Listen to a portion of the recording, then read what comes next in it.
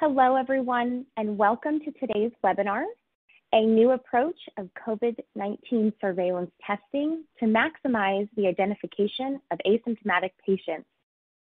I am Michelle Ashton of LabRoots, and I'll be your moderator for today's event. Today's educational web seminar is presented by LabRoots and brought to you by DiaSorin. To learn more, visit diasorin.com. We encourage you to participate today by submitting any questions you may have during the presentation. To do so, simply type them into the Ask a Question box and click Send. We'll answer questions as we have time for at the end of the presentation. You may also submit any technical issues here as well if you have trouble seeing or hearing the presentation. This presentation is educational and thus offers continuing education credits. Please click on the Continuing Education Credits tab. I'd like to now welcome our speaker, Vittorio Sambri, Associate Professor and Head of the Unit of Microbiology, the Greater Romagna Area Hub Laboratory, DIMES University of Bologna. Vittorio, you may now begin your presentation. Welcome. Thank you. Thank you, Michelle, and it's a pleasure for me to be here tonight and uh, to share with the audience uh, some of the newest result that we got in my laboratory in, uh, in Italy. So the title of my talk will be a new approach to COVID-19 surveillance testing to maximize the identification of asymptomatic patients. And please check my financial disclosure. These are my potential conflicts of interest, and I would like to disclose them, of course. And uh, this is the agenda of my talk of tonight. So we will start with the some data about the epidemiology of SARS-CoV-2 infection, giving you a global view and uh, more detailed information about what is going on in Emilia-Romagna, uh, that is my region, and in Italy in particular. Uh, we will discuss about the uh, necessity to make a statement about the specimen collection type and priority because, of course, testing for COVID has not the same priority, and you cannot do that uh, uh, collecting the same type of, specimen. And um, we will discuss about uh, some diagnostic and screening tests to detect the COVID-19 infection and their role, in particular, and the role of antigenic assay and the role of molecular testing, because I believe that these two different approaches are very different one from another, and uh, we need to go into a, deeper knowledge about uh, each one of these uh, different possibilities to make the laboratory diagnosis of COVID-19 infection. And in particular, I will, I will share at the end of my talk the experience of my laboratory in the very recent use of antigenic assay for the screening of asymptomatic subjects. And of course, I will try to uh, provide some take-home messages, but uh, that will be more, a, you know, a method of discussion at the end of this talk. So let's start to give you an overview uh, about the COVID-19 ongoing pandemic. These are data just collected yesterday, December 15, 2020. And it's impressive to know that uh, more than 71 million people uh, have been confirmed as cases of COVID-19. Uh, course, this number is uh, an underestimate uh, number because many countries are underreporting uh, and there is no confirmation for cases of suspected COVID-19 in a large part of Asia and Africa where the diagnostic resources are not so freely and completely available like in the Western countries. It is also impressive to me that more than 1,600,000 people die about the uh, died according to the data reported by the WHO for COVID-19. It's an impressive toll for that. And um, yeah, let's move.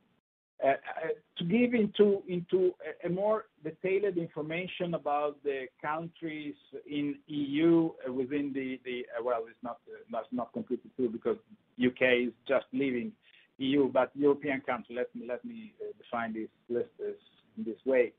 And you see here that we have cumulative cases for each country with more than 2 million cases in France and about the same number of cases in UK and in Italy, just following a short distance by Spain, with a lower number in Germany, Poland, and Turkey. And uh, the reported cases in the last uh, 24 hours, the data are related to yesterday, uh, if I correctly remember.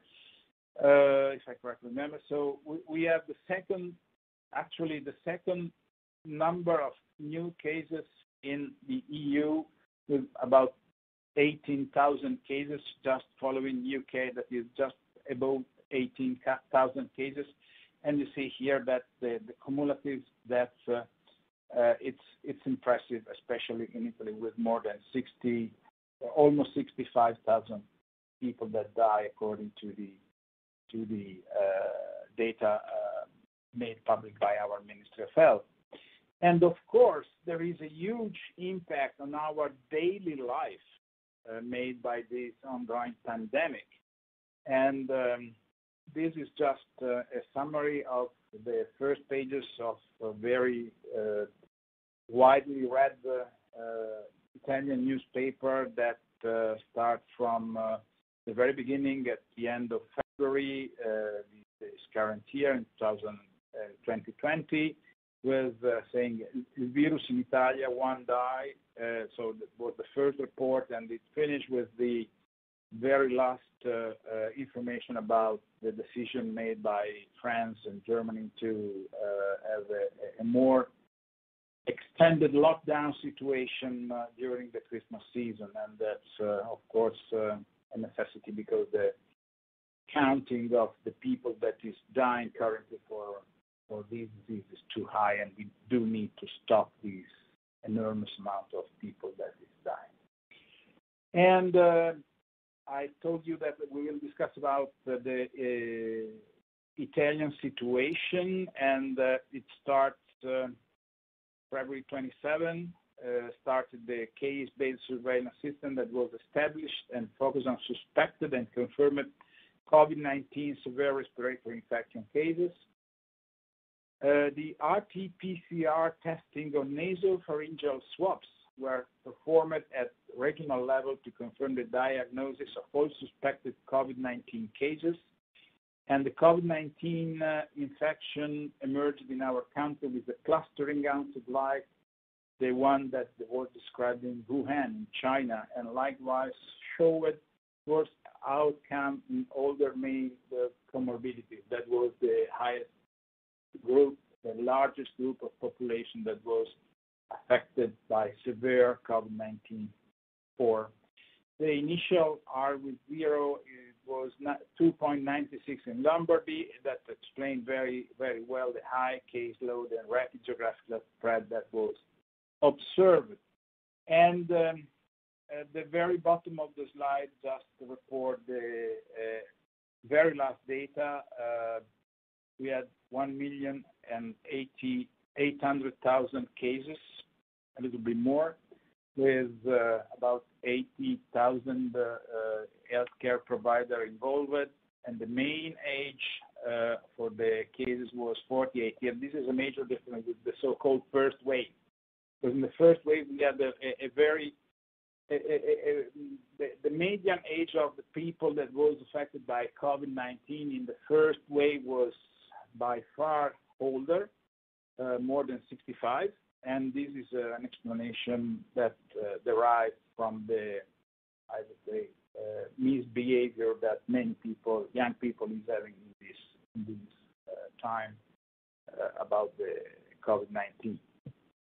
You don't see so much difference in between the percentage of male and female affected, and the total uh the total death toll is more than 60,000, with a case fatality rate of about 3.4%. And uh, we have a little bit less than 1 million people that recovered and are apparently healthy right now after the uh, experience of COVID-19. So it's a picture that is quite uh, worrying. And um, in this slide, we report the proportion of COVID-19 cases of COVID-19 notified in Italy by age group. The data are available for the almost total 1,800,000 case reported. You see here that the highest group affected is the group of age between 50 and 59. And uh, the mortality that is reported by the red portion of these bars is just uh, starting to be evident in these uh, very high uh, involved group, but it starts to become more uh, relevant, at, least in proportion to the total number of affected people in the uh, older age group, and in particular from 80 to 89.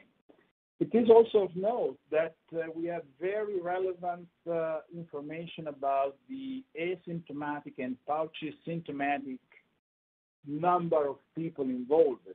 Uh, it's probably not only a, causal uh, effect, but is due to the fact this behavior is due to the fact that we are right now testing more and more also people that are not suspected cases, but they are just uh, suspected contact of cases or potential cases. That means that most of the activity that we are doing right now in the in the laboratory in Italy to uh, control the COVID-19 uh, uh, pandemic is dedicated to the detection of people that has no symptoms related to COVID. And you see here that the green portion of these bars that are related to different age groups is still very high. Even in the lower, in the lowest case, that is the age group in between 70 and 79, the total count of asymptomatic and pouch symptomatic people is well above 50%. And it's also noteworthy to uh, underline that the number of critical or severe cases is increasing again in the oldest population, starting from 60 to 69, with a peak from, as, we saw before, for mortality in the age group from 80 to 89. So there is this is epidemiological behavior that is a little bit different from the, the one that we saw in the first wave, because in the first wave, the number of asymptomatic people or pouch symptomatic people that we detected was much lower, but it was because this was because of different strategy for testing. In the first wave, we were just testing the people that were suspected or clinically suspected to have COVID-19. We were not going around trying, to trace the potential contact or to trace the people that have been potentially have been potentially exposed to COVID-19. Uh, that's completely different right now because almost more than two-thirds of our activity is dedicated to contact tracing right now. And let's move a little bit in uh, what is our healthcare, public healthcare, healthcare organization in the region. Uh, just to give you an idea where we are located, we are in red in, in this map, and um, we are in the south of northern Italy. We are the southernmost region of the northern part of the country, and uh, we have a public health organization that divide the area in three different big macro areas. One is called Area Vasta Emilia Nord, you see here in pink. Area Vasta Emilia Centro is in uh, different shades of green. And there is Romagna, where I'm located, that are uh, the that uh, is this part in, blue and light blue. Okay, okay, I get it. And just to provide you an, a little bit of information about uh, the uh, healthcare organization that we have in here in Romagna. We have centralized the uh, all the service laboratory in March 2009, and we do anything in laboratory medicine for the whole area of Romagna. the organization of my laboratory is so-called hub and spokes even if I do prefer to call it geographically spread laboratory, because we, we do have a, a, a central hub laboratory that is located here in Pievesestina, that is in the geographical area, in the geographical center of the area, sorry, and we still have seven urgency laboratories that are located in the major uh, uh, hospital that are decentralized. They are open 24-hour a uh, day for seven days in a week. And in the central laboratory, we have the unit of clinical pathology, my unit of microbiology, and my, and medical genetics as well. The laboratory system in Romagna perform about 21 million tests per year, and the overall operating hours are 8 to 6:30 Monday to to Saturday, and on Sunday, we are open from 8 to 4:00 P.M. And um uh, again, to provide you with uh, some more detail about the organization of this hub-and-spoke laboratory, uh, we have seven laboratories on site. The population we serve is 1,200,000. but You should be aware that we are located along the coast of the Adriatic Sea, and this portion of the Adriatic coast uh, is one of the most popular touristic spots uh, for uh, summer season in Italy and in Europe. So during the period of time from June the 1st to September the 3rd, along this part of the Adriatic coast, we have more than 7 million tourists coming in. Of course, they come for entertainment and for seaside, but of course, they can get sick. The the the living population is 1,200,000, but we are expecting to uh, be prepared to serve a little bit more because of this huge touristic flux that we get during the uh, summertime. And we have presently about 100 sampling collection sites uh, on on the spots, and we serve 15 different public and private hospitals in uh in in the area. Um, okay. So let's move to uh, something more related to COVID, and uh, we will be discussing something about the uh, sample collection that we are currently using for the largest possible percentage of the sample we are getting into the laboratory for the COVID-19 diagnostic.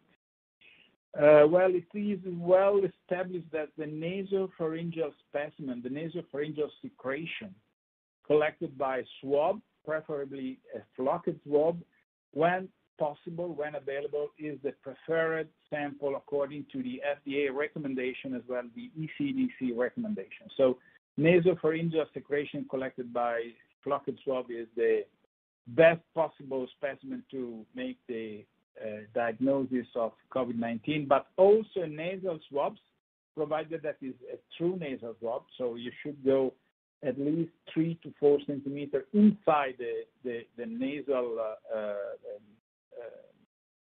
district, and it could be used. It's a it's a good alternative as well. It is a good alternative also, the oropharyngeal specimen that uh, uh, can be collected whenever the collection of nasopharyngeal or nasal swab is not um, possible according to the patient condition or whatsoever uh, environmental limitation you may have. So the swabs should be placed immediately into a sterile transport tube that contain 2 ml-3 ml of um, a transport medium that can be Uh, used to guarantee the uh, stability of the biological material collected in this way. Uh, the stability should be guaranteed for the RNA from the virus, the genomic material, as well as the antigenic material, and in particular, the protein that can be used for the detection of the antigen testing. Um, Of course, the standardization of these, and of course, you can see here that we can have uh, UTM or uh, Amies transport medium or even sterile saline. It's an acceptable transport medium, provided that you keep the collected swab in the right uh, condition of temperature and humidity. And so the standardization of the pre-analytical steps is now not so easy because um, we are experiencing a shortage of collection device, and uh, we do need to move uh, and to organize the laboratory workflow in order to accommodate many, at least three presently. I was just checking this with my coworker this early this afternoon, and we need to accommodate at least three different type of collection tubes into our instrumentation that it's quite a mess because you need to, you know, modify the software that manage these instrumentation according to the are loading. And um, of course, the nasopharyngeal swabs in UTM or VTM, that are the universal or viral transport media, should be uh, the preferred, as I just told you, should be the preferred um, collection type. And uh, this must be done going very deep in the nasopharyngeal cavity. It was told that the area for the right collection should be in the middle in between the eye and the ear. It's a very deep collection site. And um, I did it myself many times, and it's totally unpleasant. So I believe that the patient are complaining about that, and uh, very understandable that they they are complaining because they, this is a very un, unpleasant procedure. Uh, what we have available right now for the uh, laboratory diagnosis of uh, SARS-CoV-2 infection well, basically, in my laboratory, we are currently using seven real-time PCR because we need to you know, combine the different necessity of uh, turnaround time, uh, uh, personnel availability, and overall laboratory organization. So we are currently using with seven different methods for the detection by RT-PCR of SARS-CoV-2. Um, and just to try to summarize the molecular test, uh, uh, detect, of course, the genetic material from the virus. A nasal or throat swab is collected, and uh, of course, RT-PCR is performed with the amplification uh, after retro, retro transcription of RNA and cDNA. And uh, what tells you this type of test is, okay, you are bearing RNA from the virus or you are not bearing RNA from the virus.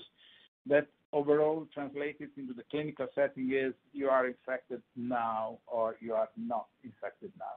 Well, this must be very uh, critically uh, interpreted because the presence of RNA by itself is not a sign of active infection.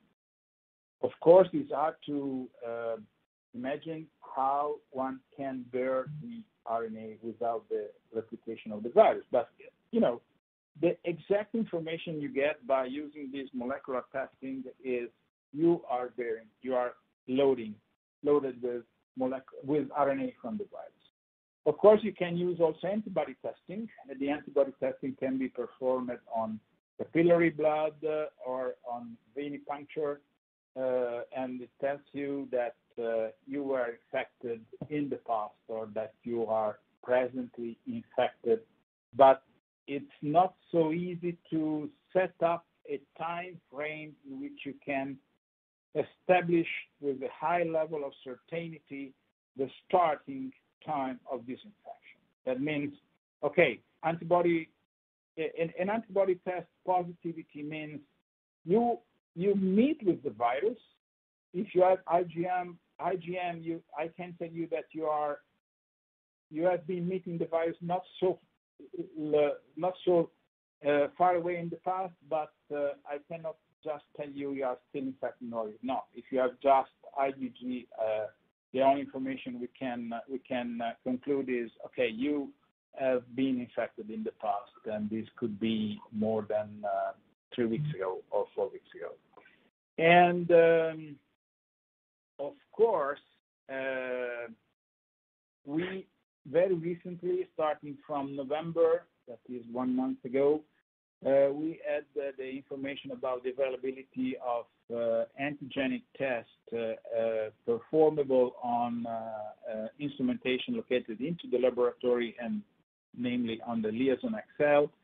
And so we decided to move also in this direction because this kind of test is providing additional and different information from the molecular test. The antigenic test is um, just detecting the presence of um, antigen-related uh, protein, antigenic-related protein uh, in the same uh, nasal swabs collected as for the molecular testing. And of course, there is a kind of um, combination to demonstrate the presence of immunocomplex made by the antibody that captured the antigen and the secondary antibody that detect the presence of the first immunocomplex. And the information that uh, is achievable by using this kind of test is that you are presently infected. Uh, more or less the same information that you are uh, you can derive from the results of the molecular testing. Yeah, we, selected to start to work with the liaison SARS-CoV-2 antigen kit, and you see here the the different uh, availability of these, uh, the different components of this kit that are required to perform the test on these uh, liaison XL instrumentation. It's of note that the the test should be must be performed on tubes that contain a sample inactivation buffer. That means that once you put the secretion, and we will see that you can collect the secretion by using a direct dry swab or by using the UTM or something related to UTM or VTM. Uh, when once you put the sample in these tubes that contain this inactivation buffer, uh, the viability and the capacity to infect of the virus is completely gone. So it's a safety measure that makes uh, life easier for people that need to manage this workflow in the laboratory. Well, you see here the technical specification of the antigenic assay uh, provided by DiaSorin. So it's of note that uh, the first time to results uh, when you load the series of sample on the Liaison XL is 42 minutes, so it's quite a fast turnaround time. And the throughput is uh, more than 130 tests per hour. That means about 700 tests per working shift of uh, 8 to 12 hours. So the limit of detection is analytical sensitivity is about 22 TCID 50 per milliliter and the clinical sensitivity uh, is varying from 97.1, uh, depending on the type of the uh, specimen. This is for nasal swabs, and this is for nasopharyngeal swabs. And you see that there is no so much difference about the clinical specificity. So according to these data, this test is really promising because it shows a very high level of sensitivity and specificity. So, um, of course, the, first question that raises when the uh, new test has been uh, proposed in our workflow was, okay, but how these perform in, perform in comparison with the RT-PCR? So that's, that's the question that also the clinician made to us. So, okay, we can switch to these antigenic uh, detection-based tests, but how can we uh, compare with the result that we are getting since the last uh, nine months that are based on RT-PCR? And of course, the the major the major issue was to state to stratify the RT-PCR according to the cycle threshold or the famous CT counts. Uh, of course, I'm not so in favor of uh, using the CT counts uh, as a measure of the level of RNA that is contained in, the specimen because the CT are highly variable depending on the target gene, the, the probes and primers that are used for amplification. And so it's not an exact measure of the amount of RNA that you have in the sample. But anyway, it's uh, widely used, so the stratification was performed according to different classes of CT, less than 24, 25, 29, and major, more than 30 and unknown. So you see here that the specificity is very high on nasal swab as well as uh, equally high on nasopharyngeal swabs and that uh, even if you are dealing with a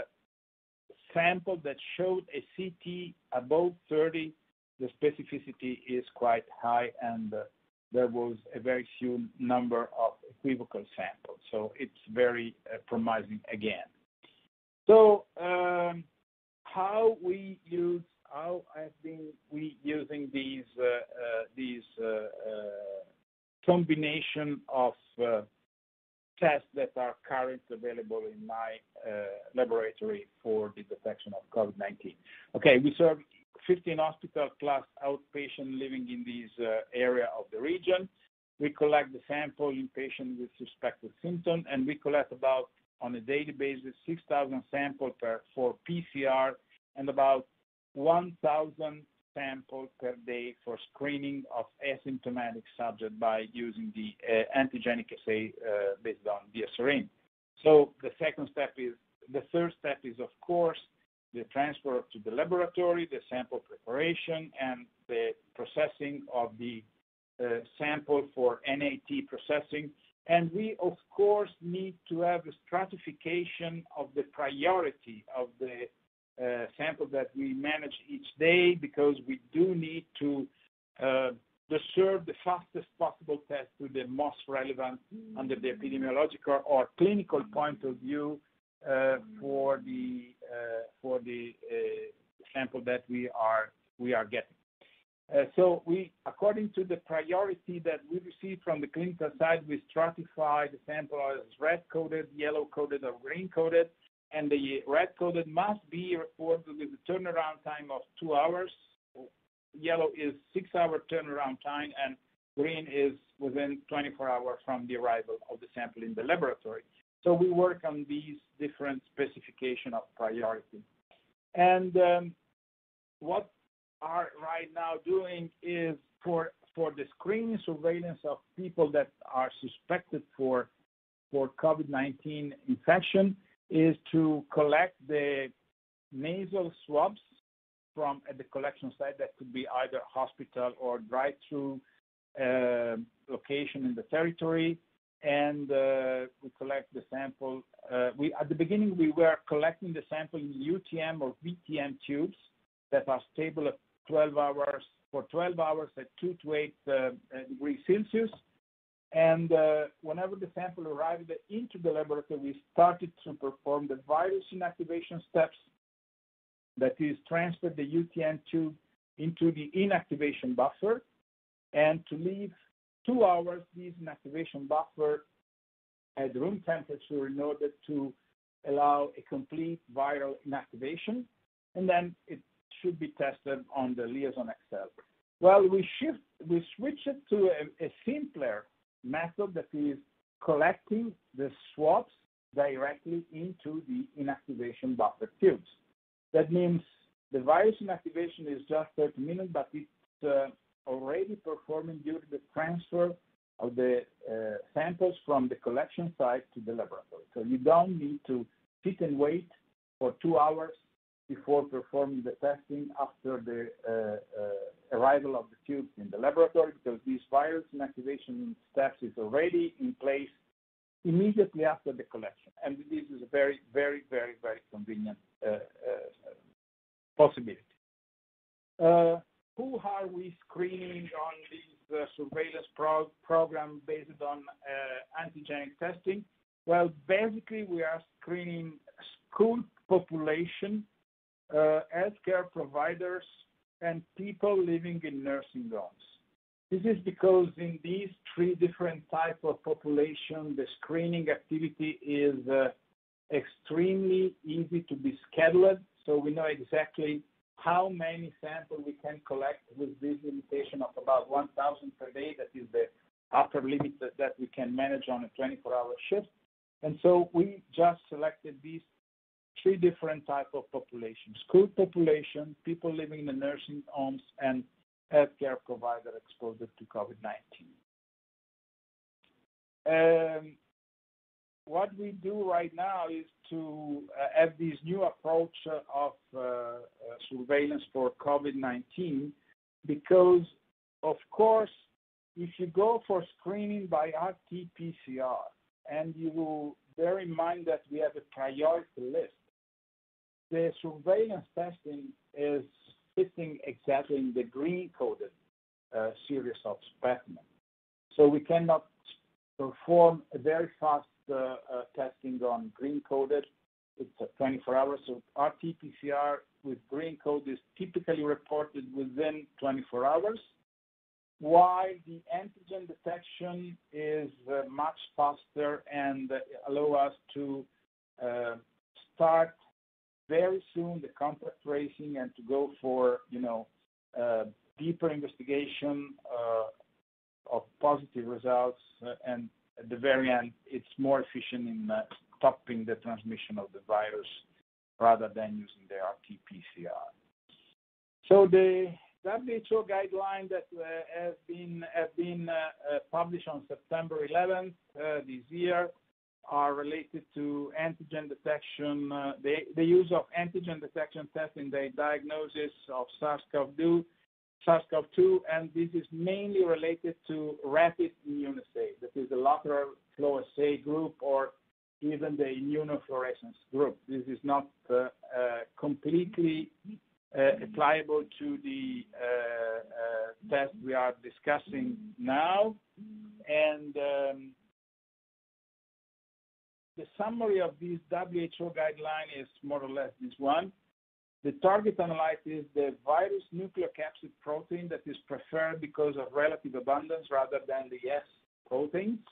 The nucleocapsid protein is much more uh, uh, released into the uh, upper respiratory tract secretion than the S protein. Uh, the sample collection material are generally available in the commercial kit, and the results are read by the operator within 10-30 minutes. Uh, and it can be used as an instrument to help the reading or just uh, can just be done by, you know, visual inspection of the device. Of course, these tests are feasible on nasal or nasopharyngeal swabs. Uh, there is a huge effort by many different company to use alternative sample types such as saliva, but as uh, far as today, there is no uh, convincing clinical validation of these biological specimens for the detection of antigen related to COVID-19 infection. So the performance should be sensitivity mm, mm, above 80%, and they should have a very high specificity ranging from 97%-100%. Um, the preferred testing period for the antigen test is in between five to seven days following the onset of symptom, and the shelf life of these uh, large majority of the tests are uh, in between one year to one and a half year, and the shipping temperature is more or less in between two to 30 degrees. So, uh, of course, the use of antigenic test uh, has many different possibility um, that are summarized in this slide. Uh, of course, the first use, possible use is to diagnose SARS-CoV-2 infection where NAAT is not available, or when you need to investigate the widespread community transmission. The antigen may be used for early detection and for contact tracing. That they provide a very rapid turnaround time so that the contact tracing could be performed in a more efficient way. Uh, of course, uh, the use of antigenic test is advised when the prolonged TAT of real-time PCR Uh, is excluding or is diminishing, is reducing the clinical uh, utility of the test, and also for the uh, outbreak investigation, such as the one that we were just describing before.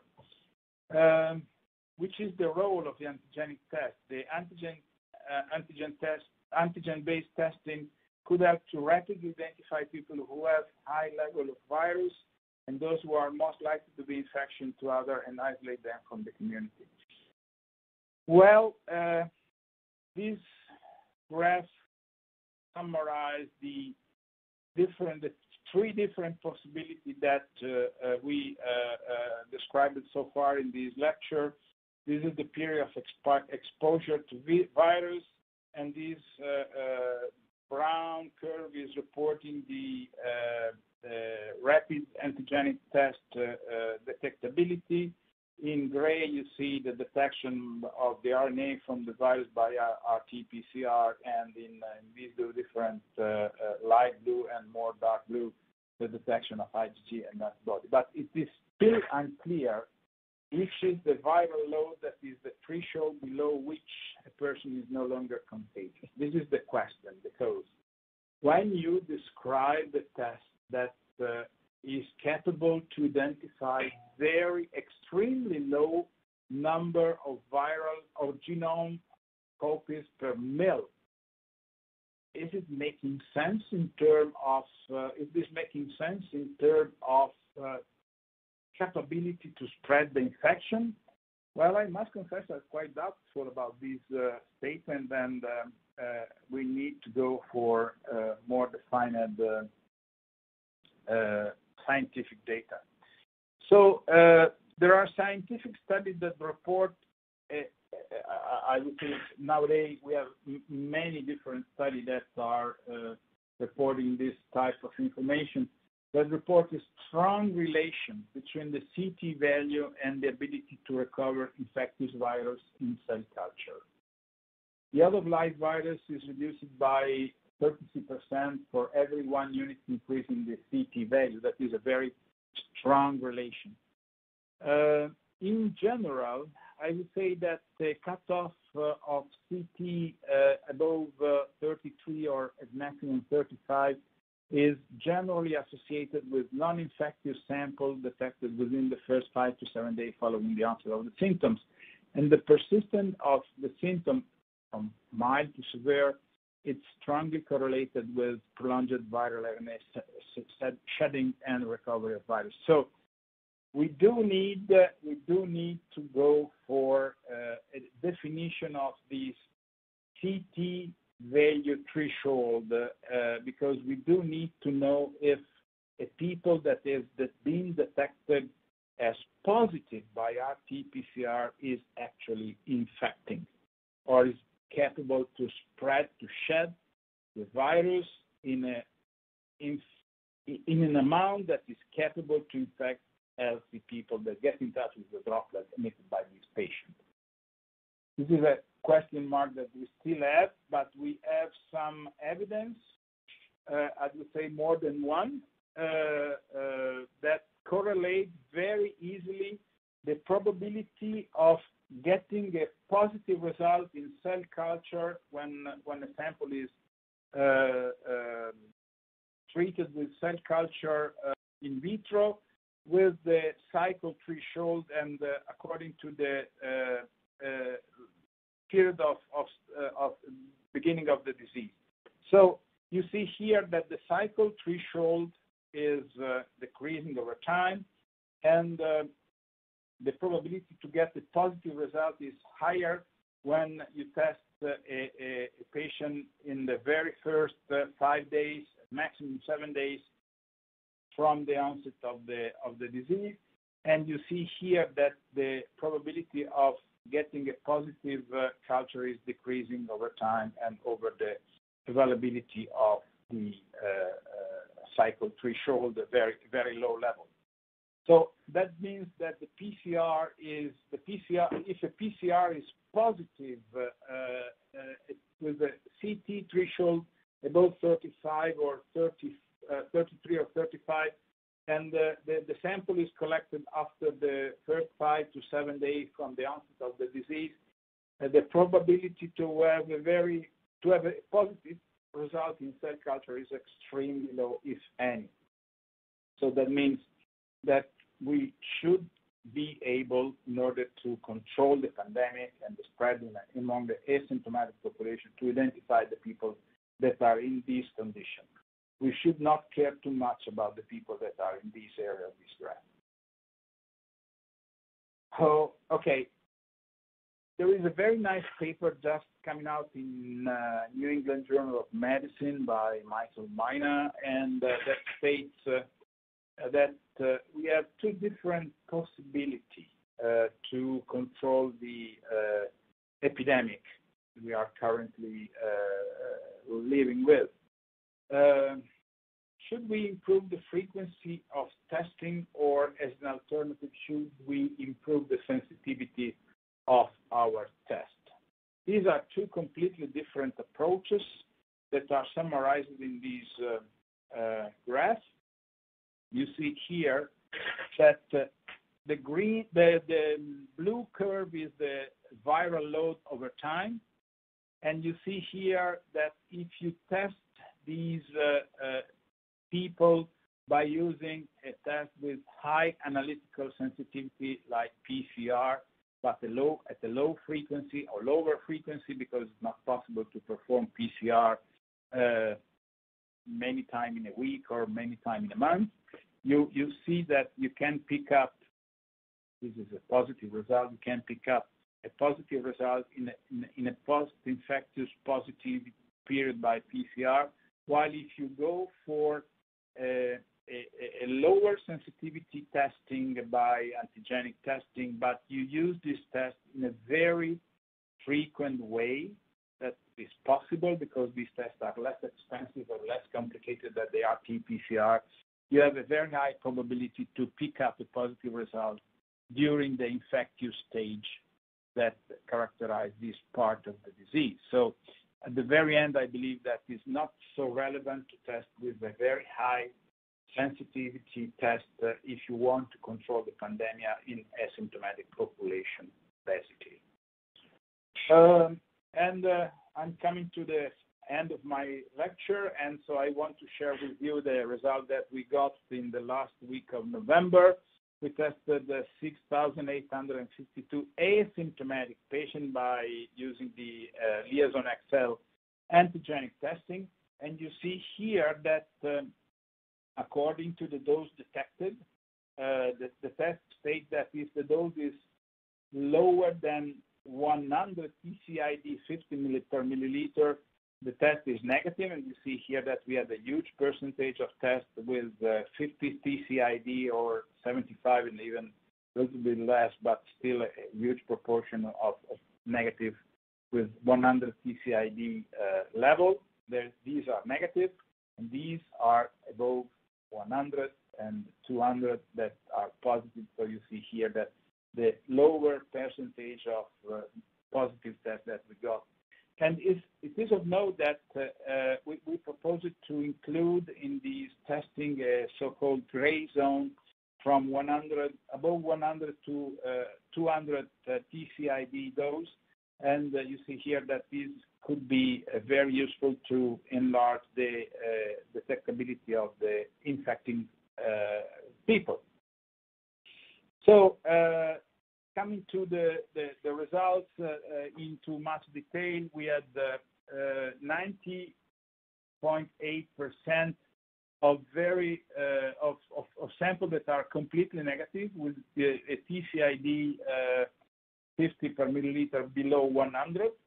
We had 6.7% in the area of TCID in between 100 and 150, and 0.6% in the area between 150 and 200, and only 1.9% of strong positive with TCID detected above 200. That's uh, that's quite uh, uh, relevant because 58 samples were in between 100 and 200 TCID that were run by RT-PCR, and five of those with uh, 9% eh, eh, expressed in percentage uh, uh, RT-PCR was positive with CT value lower than 30. We can estimate that 45 samples out of these more than 6,000 samples should be positive. That correspond to 0.7% of the routine work we do. And the remaining 6.6% of routine samples between 100 and 200 should be considered as negative. Um, the sensitivity is very elevated, even if you consider uh, uh, a sample uh, threshold of 200 is 82%, but if you consider a threshold of 100 TCID 50 is 93%. In in detail, in trying to summarize, we uh, screened uh, from November to yesterday to December. More than 13,000 individuals were tested. We we got a total of 260 positive results by antigenic testing. Of course, the population was the one that I just reported and described it to you. Uh, we considered that all of these 260 were confirmed by RT-PCR testing, and uh, we got confirmation by positive PCR in 232 cases, and we consider as a false positive reaction uh, 20, only 28 that were negative by PCR. So the overall specificity of the antigen test calculated in this way is 99.8%, and it could be uh, very easy to increase the surveillance of this population from the present, uh, based on RT-PCR testing, to 45 days to uh, twice in a month. So the prevalence of currently positive in our area is 1.4%. Uh, according to the data we got from the government, and um, uh, the percentage of positivity that we got by using the uh, antigen test is 1.7%, so it is not so far away from the prevalence of the currently positive. But you should consider that of those positive reported, 66.3% are on are related to control swabs, and only 33.3% are deriving from swabs performed for diagnostic purposes on suspected cases. These are the two percentage in my in my region, and you see that the different proportion of these two categories of uh, testing are are uh, very relevantly uh, varying uh, from one region to another. So let's come to the conclusion. I would say that the rapid diagnostic test uh, that is 42 minutes is achievable by using this high throughput platform with more than 130 tests per hour. It's helpful to stop the COVID-19 transmission because you can target isolation and cohorting of the most infected cases and their close contact in a very efficient and short time after the collection of the sample less than uh, shorter time than uh, if you go for RT-PCR testing, and you can expand access to testing and so guarantee higher level of traceability. And the increased frequency of testing can also maximize the capacity to identify positive asymptomatic individuals. So overall, I believe that these kind of test is uh, a very promising and very useful test for uh, helping us to control and to develop a more efficient strategy to stop the current pandemic uh, of COVID-19. And um, well, I thank you for your attention, and I'm of course open to any question you may have. Thanks. Thank you, Vittorio, for your informative presentation. We will now go ahead and start the Q&A portion of the webinar. If you okay. have a question you'd like to ask, um, please do so now. Just click on the Ask a Question box located on the far left of your screen. We'll answer as many questions as we have time for. Okay, let's get started. Our first question is, in what situation could antigen tests be useful? Well, I believe that the antigen testing are useful potentially in all the situation in which you need to be very uh, time effective in providing the answer.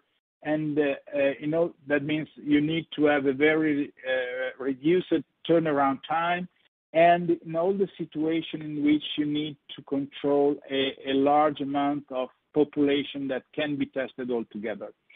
So provided that they have a very high specificity and a very high sensitivity, I believe that these kind of test could be uh, very helpful in order to stop the transmission of COVID-19 because they they allow the Department of Public Health to go uh, for a more uh, efficiently tracing tracing activity, and so that we can enlarge the number of people that uh, could be screened for the presence of SARS-CoV-2 infection.